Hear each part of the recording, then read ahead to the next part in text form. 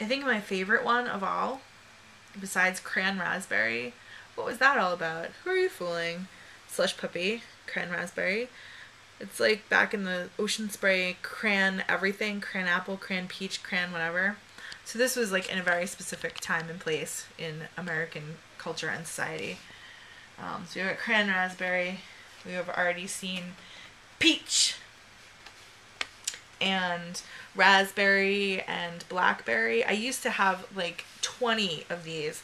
My favorite one is the cherry. That is my favorite Slush Puppie sticker of all time. Not only because I used to drink exclusively the cherry kind, but come on.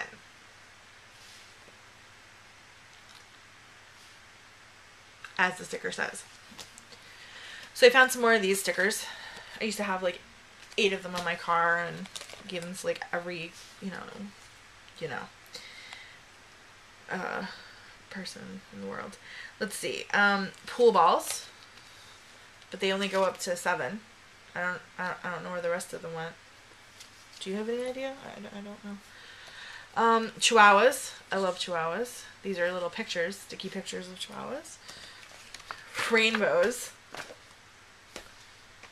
Um, more whales. These are like incredibly sparkly whales. And these are like straight up awesome whales. Um, more of these. Oh, I really, really liked Pikachu for like five seconds. I just think he's adorable. I don't like Pokemon. I've never seen Pokemon. I just really like him. He's just part of my whole aesthetic. Cows. Love cows. Also love photo- photographs of cows. This is an old, old Sandylion Tinky Winky sticker set. And you can see Tinky Winky's incredible red magic bag. I have that same magic bag.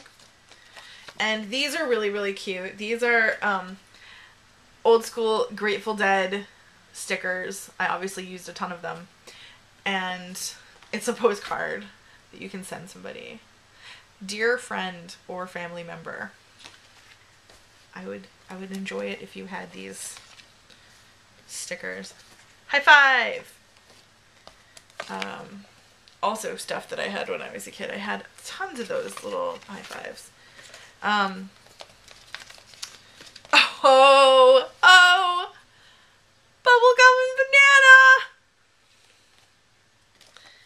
banana. And now we're getting down to like tiny, tiny things. For just a little bit of pride. Uh, I found the rest of the uh, balls, sort of, except for the 13. Why? Where did you go? Um, Bub Bumble's Buggies. I think this is um, Miss Spider's.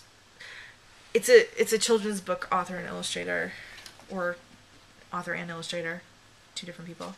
Uh, yin yangs. Why would the point it, the point of the face is why do I have those? Um, black cats.